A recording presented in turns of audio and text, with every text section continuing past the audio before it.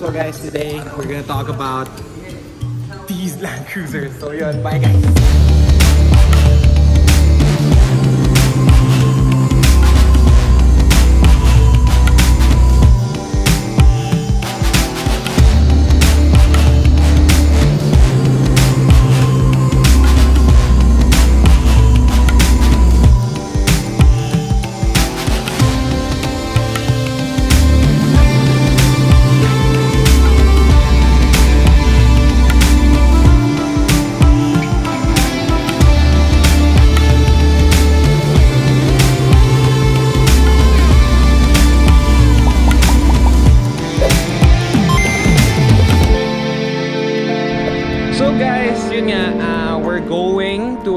Place here in Pampanga guys. I mean, this place is somehow hidden kasi uh, hindi naman siya publicly open for everyone that that everyone could go in. Kasi private property siya ng uncle ng friend natin. So, uh, it's IC's uncle. This this has been featured in uh, Buzz Hype's vlog already but we'll we will still vlog it kasi uh, I'm really interested with the stuff that he owns kasi I personally have that interest on his taste of cars so yun nga uh, so iba-vlog din natin yung mga kotse niya kasi I'm really really excited about it tapos uh, titignan natin kung anong mga meron doon na kotse papakita ko sa inyo isa-isa I'll try to give you an in-depth look si ano nandito si Bella. So let me introduce you guys to Bella. Bella, come here.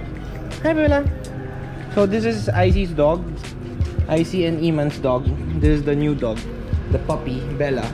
So yun, tapos uh, we had a, quite some party last time here kasi birthday ni Iman. Yun, birthday niya kahapon. So yun, happy birthday Iman. We brought the Lexus LX 450 of our good friend. Hinarap natin to. So, uh, later we'll bring it to a car wash na kasi syempre ginamit natin. And we need to clean it up before returning the car. So, yun. Uh, but now, we'll be using IC's Hilux. So, yun bro. Punta kami kay Latito. So, let's see kung anong mga meron nandun. I'm really excited. So, see you guys there. Bye! So guys, uh, we're currently here on a secret location for this vlog. Uh, again, na-vlog na to ni Buzzhype. If you wanna see another video for this part of the vlog, you can check his YouTube account. Uh, pero guys, uh, I'll give, I'll still vlog it kasi ito nga yung mga hilig natin. I, alam nyo yan, I personally have a preference for these kinds of cars. Kasi, uh, even us, meron tayong isang ganito. But, not to thi- this extent pare. Para siyang ah parang medyo times 10 ganun. So I'm really excited kasi nga ah yun. Sobrang pag tinitignan niya siya yung mga kotse, it's like really nice, really clean. He knows what he's doing with those kinds of cars. So yun, makikita natin, mapapakita ko sa inyo kung ano yung mga to. So yun, first before I let you guys see the cars that I want you guys to see, I'll let you see IC's Hilux first. So, hi- this is the Hilux of IC. This is a 4x2G Hilux, but still, uh, ano lang, syempre, nandito sila sa province. Somehow, you need a, a pickup car para syempre sa mga pangkarga and all. It's running on Cooper STT Pro. Tapos sa SCS din siya na, yan yung 5 spokes ng SCS na Gen 1 if I'm not mistaken. Yung naka TRD grill, tapos naka TJM siya na suspension. So yan. Ganyan naman talaga. I mean, yung mga Hiluxes naman, usually ganyan yung itsura. They need to be really simple, nothing too extravagant, nothing too nothing do, not not not those kinds of uh, front bumpers, the steel na sobrang exaggerated. Uh, so for me, simple cars uh, like this would really I would really prefer this one over some uh, exaggerated pickups. So yun. Uh, so ready na ba kayo? I mean, I'll let you guys see kung ano yung mga papakita ko sa inyong kotse. So I'm really excited. But firstly, I just want to you guys to meet my friends. So tumatalo na sila for excitement. So yan. There's Iman, IC, and D5, and of course, Joseph. So yan. This is the Buzz Hype Group 2. So yan, ayan, ayan. So ito na yung mga kotse guys. Say-say natin. Ito, ito, ito, ito, ito muna, ito muna. Ito yung maganda dito bro. Ito favorite ko bro. eh. Oo, bro. Ito favorite ko. Yan yung favorite ko. So K-Truck na ah dump. Nagda-dump to. So solid. Angas, di ba? So yan. This is a K-truck dump car. Ah, syempre may mga purpose na kailangan mo mag-dump. So this one, malaking bagay yan. So ako personally I have a heart for K-trucks ah, kasi hindi sila masyadong nabibigyan ng tuon pansin kasi they are workhorses here in the Philippines Eh, but sa Japan ang daming pumaporma nito. 'Di ba? Japan, Jo, ang daming pumaporma niyan. So, yung mga K-Trucks, medyo underappreciated siya sa atin. So, I just want, kung meron niyang mga builds na ganyan. Actually, may nakita akong isang nag-build na ganitong itsura, si Mafi. Si Mafi Yutan, he built one that is really, really nice. Ah, parang spaceship gray, tapos may cab sa likod. It's really nice. Sobrang ganda for me. So, yun. Ah, there's a stock Jimny here. This is, uh, this is the top of the line, GLX, I think. So, kasi yung top of the line ng Jimny, it's projector headlight already. Tapos may headlight washer. So, this is this is the top of the line Gemini. Tapos, if I'm not mistaken, the color is ivory. Yan ata is ivory. So, medyo ni-research ko siya because I want one, but still, not now. But yan. A stock, a stock. Baka naman. Actually, actually, actually, Suzuki. I'm not sure if I'll be publishing the video, uh, uh, if I publish a video already, but uh, I already talked to the Suzuki management. He'll, they'll be lending us a lend unit of Suzuki Jimny. I'm really excited. I'm really excited. So yun, uh, LC2, of course. This is everyone's dream. Land Cruiser 200 is always there. Alam naman natin na sobrang ganda ng LC2. So this is a Dubai, tama? I see. Dubai na edition ng LC2 .3 this is a .3 kasi yung fascia niya yan na yung harap niya tapos interior wise oh shit hindi nakalock so later. So still but this is LC2 LC 2.3 tapos naka Dubai body kits siya. Ito kasi usually the locals doesn't have this one. Doesn't have the rear part. Tapos yung stepboard I think it's the same. Pero yan ito yung LC 2.3 na Dubai. Then going here there's a actually okay there's an there's an ar- argument for this car and then that one right there. Kasi itong mga itsura na to uh, they call this rebirth this one the blue one. This is a 76 rebirth. But uh, I talked to some Land Cruiser guys. Uh, this is not the real rebirth. Parang kasi nung 2001 2002 there's there have there, there was a rebirth edition na lumabas na ganito yung itsura. Ganito itong white. Same uh, same with ours yung 76 nating gray. Ganyan yung itsura. This one was the rebirth daw yung ganyang itsura. Kaya yun yung naka AJ engine. Tapos uh, it was released way back um, around 2001 and 2002 So yun, uh, ito, sa, uh, ang sabi nila, this is the reproduction of Land Cruisers. I'm not really an expert of Land Cruisers, but still, if you have you have your opinion, just comment down below if you want kung anong opinion no, na tama. But that was explained to me of from a someone na talaga nagla-Land Cruiser. So yun, uh, let's say ito na lang yung 76 na reproduction. This is a 2018, 17? Um, ito yung first 16? release bro ng First release. Re- rebirth, ay reproduction. Reprod na 2013 siya. 2013. Okay. Kasi ang unang nilabas na mga reprod is V8. Tama? Ah, oo, yes. Tama, V8 kasi yung mga later on naging ay, hindi may may V8, may HJ, sorry. Yes. Yung later on kasi puro V8, yung HJ nawala na yung HJ na re, na reprod. So yun, this is really nice. The color is really good. Sobrang gusto ko yung kulay niya kasi syempre alam niyo naman mahilig kami sa blue. But this one, this one's really classic. The look the looks of it is really nice. Tapos pucha, ito may ano may bump pala to no. Tapos considering that one, there's a hood scoop there. Ah. This one has none, right? So yan. Ganda ng kulay pare. So the blue shade of this car is phenomenal for me. It's really nice. Tapos of course, oh Spectre Off-Road uh, Land Cruiser. This is States. States. Came from States. Spectre Off-Road. Nice plate LX edition. So yan, ang ganda, ang ganda. Kasi it's running on tall and thin BFGs. I think this is a KM3. So it's running on Mix, mix yan. bro. 255, 65, 16. Mixed siya. Kasi KM3 ito, KM2 yung likod. Ayan o. Yung KM2 kasi is pa ganun. KM3 is may ngipin. But it's running on tall and thin tires. It's really nice kasi yun nga yung na-appreciate ko ngayon, yung mga LC ngayon na tall and thin. Tignan nyo kung gaano kanipis yung goma. So that's the look of a tall and, tall and thin Land Cruiser right now. Kasi hindi lahat nagtotall. Kaya nga tayo, yung, yung 76 natin, ay yung LC natin, ginawa natin 265, 75, 16. Coming from uh, 285, 75, 16. So right now, we're running on 265 na. I want this size na 255, 85, 16 but uh, yun nga, uh, nang nakuha natin is 265. But no, nonetheless, it's taller and thinner. So yun, this one's really nice guys. I mean, super pogi. Even the inside. Diba? Ayan. Beige interior. Ganda.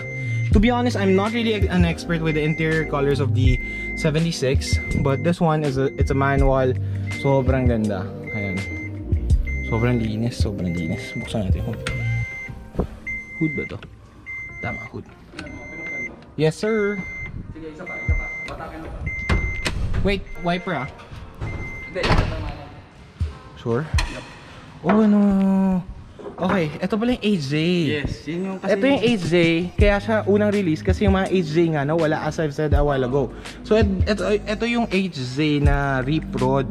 NA. Solid, solid, solid. Sobrang Ito kasi ganda. yung... Yan na yung V8. Ah, Okay. Kaya siguro may hood scope. Yes. So ito guys, ah ito yung sinasabi nilang bulletproof engine ng Land Cruiser, yung HJ. This one's the same with our Land Cruiser na, na engine, but yung amin yung 2001 or 2002 version siya. And this one's a manual transmi it has a manual transmission. Ours is a automatic transmission. So ganda, solid. So yan, steel bumper, ARB, IPF, fog lights. Simple lang, simple lang. You don't need those uh, uh, malaking mararaming stuff to make this Land Cruiser stand out. Kasi ito yung mga coaching. Pag nakita nyo naman yan sa kalsada po siya, titingin naman talaga kayo. So ito, this one's uh, 75? 79. 79. Okay. Kasi this one's this one's a dual cab na may pickup. Yan, kita nyo, kita nyo. Ayan. So, color naman niya is somehow grayish. Dark gray. This is a darker than ours eh. Ang sabi nung uncle ko bro, uh, nung in-order, actually itong dalawang orders na to, I'm not sure with yung mga LC fanatics yan. Sabi niya kasi ito, um, something anniversary, Australian are- anniversary oh. color siya. So, this color. oh, kaya, Ganda, siya, ganda ng walang, kulay. kaya wala siyang side decal. Wala siyang livery or Et- what. Ito naman, um, Australian anniversary color din siya noong 2018. Tapos wala din siyang side decal. Gets, gets, gets. So yun, ah ito ang ganda rin ng kulay to be honest. Tapos yan, it's a functioning hood scoop kasi ayan oh, 'di ba? Bukas siya diyan. Tapos ito yung tall and thin, ito tingnan niyo kung gaano kalaki yung difference ng mga goma. Kung ano yung mga nagiging itsura ng auto pag nagpapalit ka ng size ng goma. Yung iba kasi, they think yung mga goma na yan, ah, same same lang yan, but no. Ah, this is a 2 255 85 16. This one's a I think this is a 265 or 285. So 285 76 285 16 to. So yun na nga yung point. So yung lapad, malaking bagay yan. Malaking bagay yan. So to PTO winch meron na rin to. Kaya siya may cover dyan. Tapos ganda, ganda na ito. It's running on Mickey Thompson by the way. So, tapos yan. Oh shit, may ganito rin siya. Solid. So yan, V8 nga to. Solid. Grabe, ganda ng cab. Grabe to. Tinanggal niya yung rear bumper bro kasi nung binaba niya. Tumama. Uh, ito. Ganda, ganda, ganda. So, ginagamit talaga to ng pang mga farming. Guess nyo. So, interior, shoot, shoot. Sarado. So, nakalock siya. Bubuksan ko to. Hindi, joke lang. Tapos yan. Ah, this one's a V8. Ah, ito yung mga engine, eh, again, yung mga LC expert dyan, but still, I'll try to give you a, an idea of what the engine is. This is a V8 ng LC200 but single turbo. So, ito yun. Ah, sobrang ganda ng makina na to for the body kasi syempre it's a classic body that has a new heart. So, pretty much galing ng Toyota doon. Sobrang kudos sa Toyota for making that edition kasi syempre, 'di ba usually pag mga lumang itsura, gusto nila luma na rin yung engine. But this one pare, I mean it's a new engine on an old body na ni-reprod. So ang ganda na naman nun. So okay, going to the next. This is a This is the old one. Alam ko ito yung luma kasi ito yung grill ng LC talaga na luma compared to that one. So yan, this one uh, is a fire truck. This is a legit fire, fire truck of Land Cruisers in Japan that was imported here and then um, th- they made a cab for the for the rear. Ito. Ito, ginawa to para tinanggal yung technically may ano dito fire truck hose and water water stuff. Tapos ito, ginawa na to para dito yan. So sira na, sira na yun to. Tapos usually the the ambulance the, the fire trucks in Japan it has it has a bubble top. This this is somehow higher than the, than this. So kailangan mo siya i-chop and then you need to weld some stuff up there to make it more rigid. Tapos yung interior naman niya, ito. This is a okay. Ito yung kinuwento ni Uncle last time. Oh by the way, it has sunroof. So yan, ah, tapos yung I think ito yung pang mga fire truck na to eh. So everything is working kasi si Uncle is also a fire volunteer so somehow that's that's in included that you so, so that you can use these sirens kasi syempre kailangan nila magamit yan. Tapos yan yung mga audio controls, yung pang mga walkie-talkies. So yan, nandyan sa lahat. So guys, ah, ang malupit dito, sinabi na ni Uncle to last time. The engine is really interesting. Pakita natin yung engine. Bab- Tatama kaya to? Baba na lang natin. So yun, ang ganda ng ano ah, fender mirrors. So I like the fender mirrors for this one kasi usually yung mga ito, naka fender mirrors to eh. So yun. Uh, I think this is a fire May department fun fact daw logo. dito eh, sa badge Talaga? na to eh. Na, Hindi ba ano yan? Fi- parang firefighter Parang yan ata yung badge nun sa, sa Japan. sa Japan, sa fire. So, it, somehow it's really cool. Okay, pare yung mga ilaw niyan, koito pa yan. This is the grill of our LC din dati. Uh, that's why we changed it to this one kasi this one's modern. Yun nga yung sinasabi ko sa inyo na this is the rebirth. This is the legit rebirth. Yung ganitong itsura, ito yung rebirth talaga. So, ito. So, ang ganda. I really like it. So ito, ah bubuksan na natin yung engine nito. Okay, si Tito, kinausap ko the other night, ah they, he revealed that this engine, ah ito na yung 1H DT kasi gusto niya maging Matic to. So nilagyan niya ng 1H DT from an 80, tama? Yes, sir. From an LC80, 80, nila, sinalpak niya dito. Tapos yung makina nito, nilagay niya dito. Kasi fire trucks has really low mileage. Ah, when, syempre, sa Japan, yun yung mga ah, fire trucks naman hindi masyado ginagamit. So, wala naman masyadong nasunog dun. So, usually, fire trucks ng Japan has like 1,000 to 10,000 mileage of their life lang talaga. So, yung mga makina nila, sobrang sariwa. Sobrang solid ng mga makina. So, yun, ah, from, for this fire truck kasi, gusto niya gawing matic. So, he installed this 1HDT Matic from an 80. Para sobrang solid to kasi yung 1HDT na Matic, sobrang tulin yan. So okay, yung makina niya naman, nilagay naman niya dito. Okay, so sobrang solid yun. Kasi yung 3F na to, from a 3, yung 3F na to napunta dito, yung 3F na to, sobrang sariwa to. So sobrang lupit kasi nung sinart to ni Uncle, sobrang panalo, sobrang pido nung makina. Sobrang ganda kasi ah, this is all stock, walang arte-arte, talaga mechanical, everything is- mechanical. So, yun nga, ah, this car is somehow really good kasi ah, talagang all out na, na, na-restore na siya. Tapos, ito pa yung malupit. Ito, inaawit ako kay Uncle to. Sabi ko, Uncle, I really like that steelist pare. Tingnan yung steelist niya. Sobrang ganda kasi may mga steelist na, maraming steelist ngayon sa market but hindi kaya kumain sa large hub. Ito, yung manual locks. Kasi yung mga steelist na gitna nila, yung hub nila, maliliit. Ito malaki. Tapos sobrang ganda kasi na BFG KM2 rin siya. Yan, ang ganda ng kulay puti. Guys, yung mga kotseng to, kaya may mga battle scars kasi ginagamit talaga to.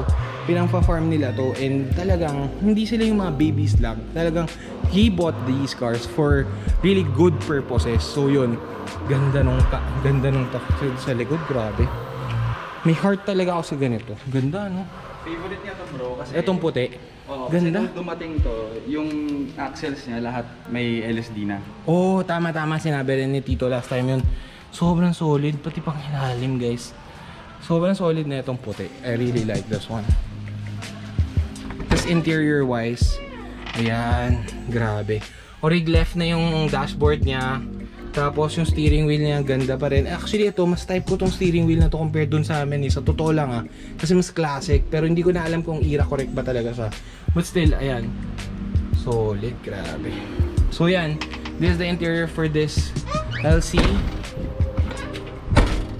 Sobrang ganda. Ganda ng puti. So, turning. Yan yung baby niya. This is the baby. Yup.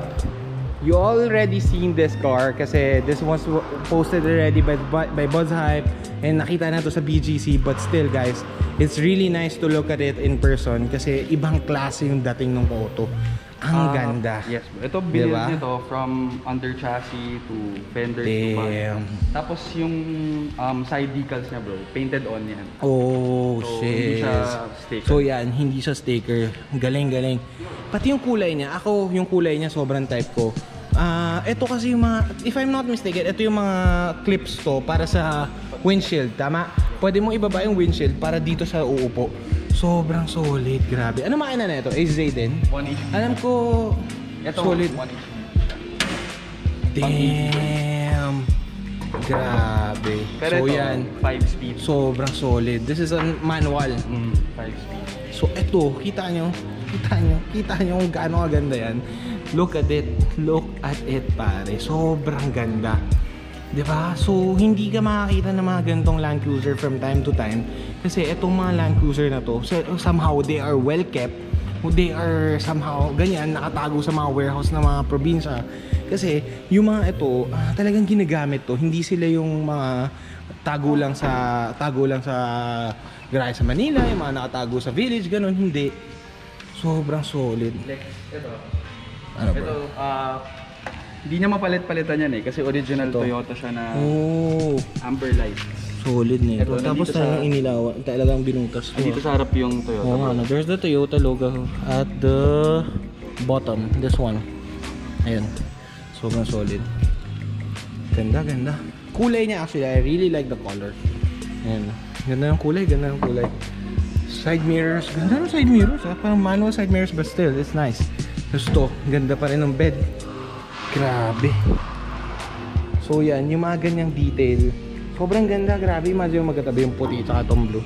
Crazy, crazy. Tapos eto, OG. OG stickers. Alam nyo na yan.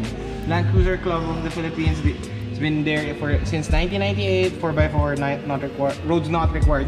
Pero guys, ah yan yung mga stickers na malalaman mo somehow na yung mga owner ng mga gocheng to is really OG and he knows what to do with the cars kasi ah, syempre yung mga hindi ka naman tatagal sa ganyang clubs if talagang wala kang alam eh, di ba? Parang through time, the experiences is there, tapos matututo ka na lang. So yun, kahit tayo, hindi naman tayo expert eh. Kumbaga man natututo tayo lahat through time and experiences. So yun, sobrang solid yun. So ito, interior wise, yan. Ganda.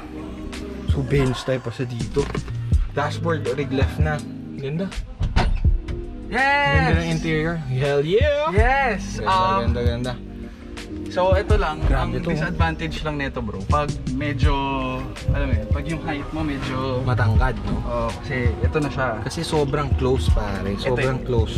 Pa, tinan mo, simple ano lang to ah, flex lang to ah. Sobrang solid ng Holy crap! Okay, alam nyo bakit flex yun? Alam nyo kung bakit flex yun? Kasi guys, yung mga ganyang starting yung sa mga lumang kotse is freaking flex already kasi yung mga ganitong kotse naman, yung mga lumang kotse, hindi naman sa ano, pero ang hirap i-start, lalo na pag carb, yung mga ganyan. Pero ito, kita nyo naman kung gaano kabilis mag-start. Ang lamig ng aircon, pare. Sobrang solid. Ganda, grabe. So, ito yung mga babies ni Uncle. Di ba, Haisi? Yes sir. Solid. Ganda. Ganda ng kulay na ito. Pati tumunog ng engine, sobrang pino, guys.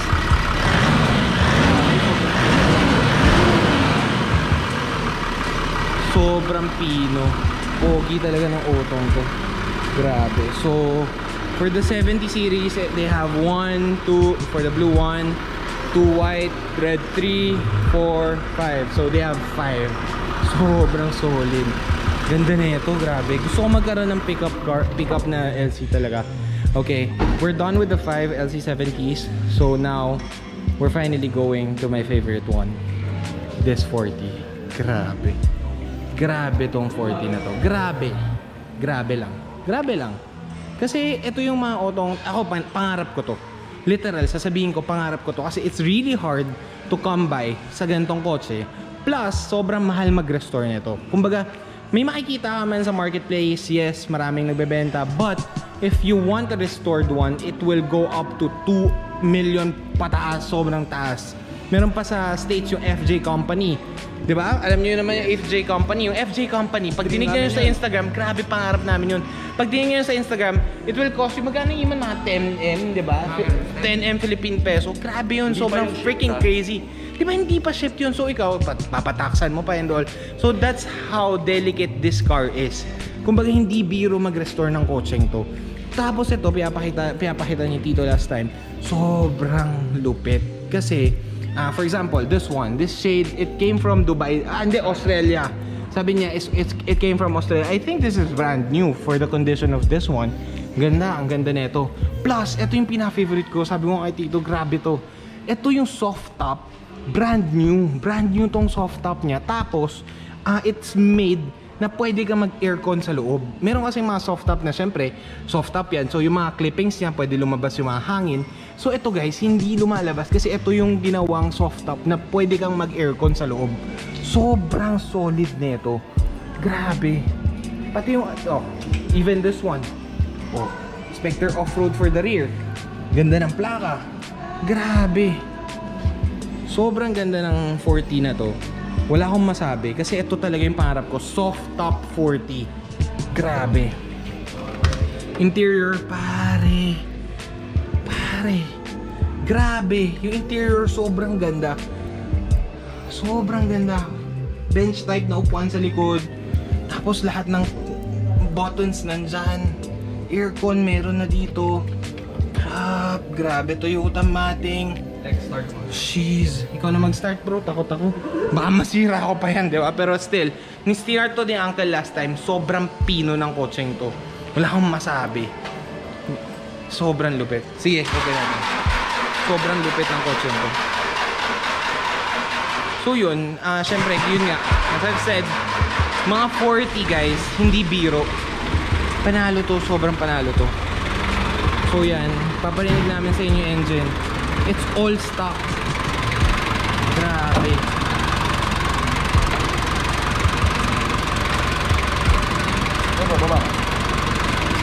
Yup. Engine niya, sobrang stock lang. Pina-explain ni Tito, lahat ng nakikita natin, it's all stock. Tapos, came from Toyota. Grabe, sobrang lupit. Makakita ka ba ng ganyang engine na ganyan kapino tumunog? Tapos, all stock talaga. Came from, I don't know, freaking 80s, 70s. I'm not really sure with this car anymore kasi patay, hindi pa hindi pa, puta, ano pa lang ako nun, tamad pa lang ako nun, so wala pa akong alam.